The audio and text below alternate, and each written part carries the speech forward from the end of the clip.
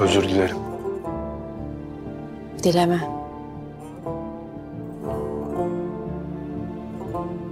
Nursema ben çok ileri gittiğimin farkındayım. Ama gerçekten iyi değilim ben. Yani içimde böyle herkese ve her şeye karşı kontrol edemediğim bir öfke var.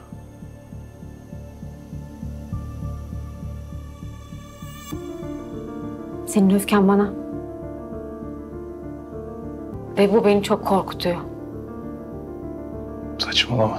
Ne olursun. Bak. Ben sırf e, sen istiyorsun diye psikiyatristten randevu aldım. Bugün doktora gideceğim.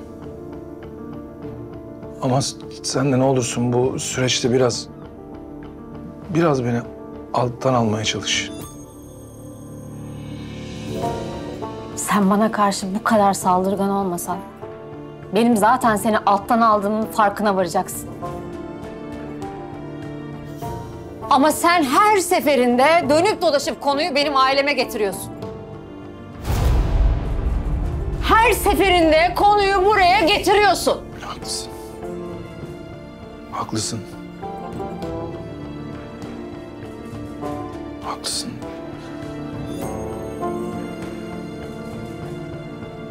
Haklısın.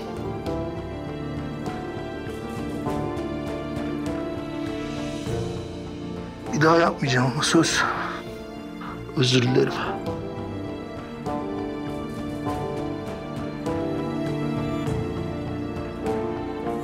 Lütfen küskün gitme. Tamam.